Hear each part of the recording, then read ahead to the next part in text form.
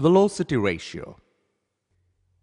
Let us learn about velocity ratio of gears. Velocity ratio of gears is also called as gear ratio. Gears are counted by its teeth. The ratio of number of teeth on the follower to the number of teeth on the driver is called as gear ratio or its velocity ratio.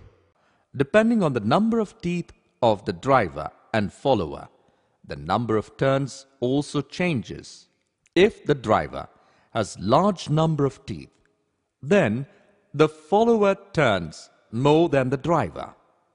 This type of gear train is used to multiply the speed. When the gear ratio is low, then it has more speed with less force.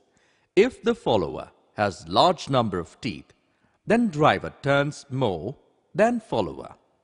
This type of gear train is used to multiply the force.